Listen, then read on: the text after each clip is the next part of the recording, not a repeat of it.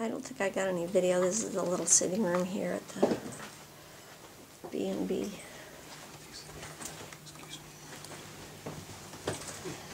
There's the little office. There's the way down place. Here's the way out. Way out. Here's the little sitting area where we never came and sat.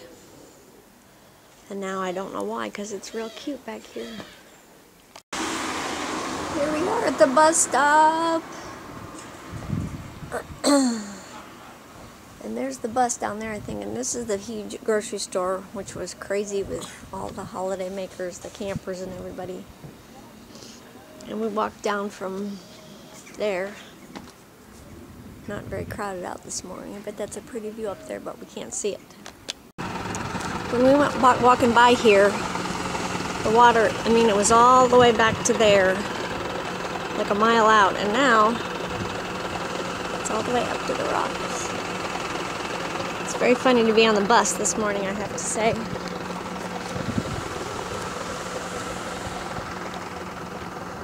We walked all around there. It's a little bit sad that we're on the bus, but very comfortable. Don't have to worry about being in the car. Now we're on the bus and this car in front of us is having to back up down the teeny tiny narrow road.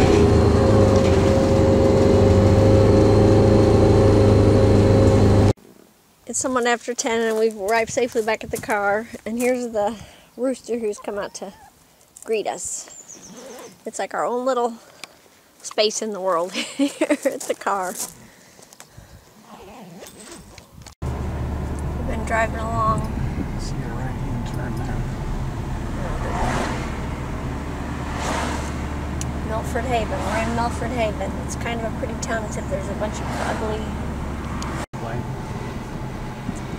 There were ugly um, power plant things in back of us. Yeah, can we turn left, take right here?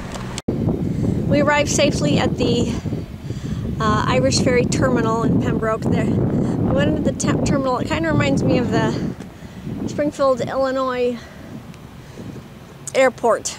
But so anyway, there's one car here in line for all the cars will be queuing up later in a couple hours. So we'll just see what it's like back then. We've been at this museum called the Pembroke Dock Heritage Center.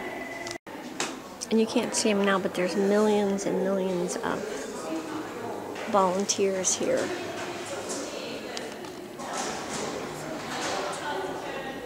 Millions.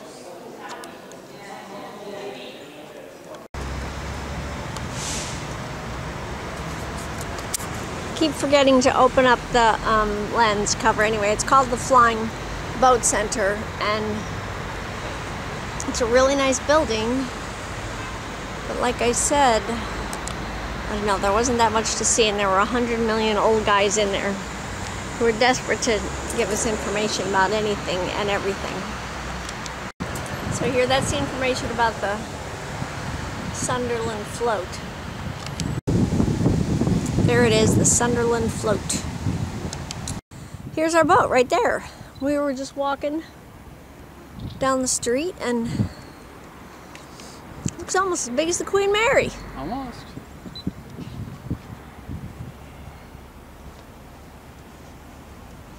Because we were walking out to this thing, whatever this may be. I'd say the tide is way out. Somebody sloshed through all there.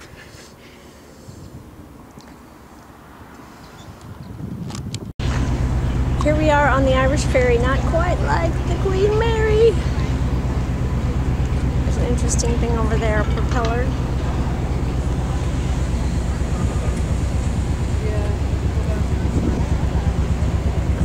Where we're to be going. Okay, back there is Pembroke Dock, and there's some windmills and some cows.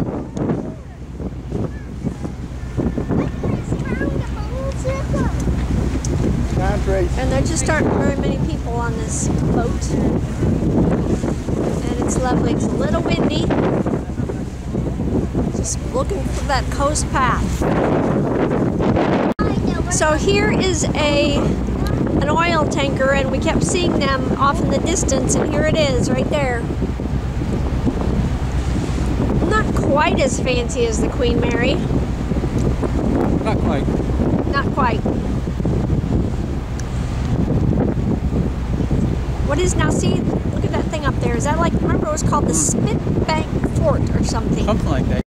Okay, Kevin just told me that this oil tanker is almost empty because that line there, that would be under the, uh, what's it called? The water line. The water line, and it would be all the way under the water. Pretty cool. And what's the tugboat gonna do? No. We don't know what he's doing. We're going out to help somebody else. Okay, right over there Dale. Come on, zoom. Dale. Walked along there. Okay, forget what I said. I think this up here is Dale. Whoa. It's a really long way all around the point of Dale. That's why it was. That part just flat along this.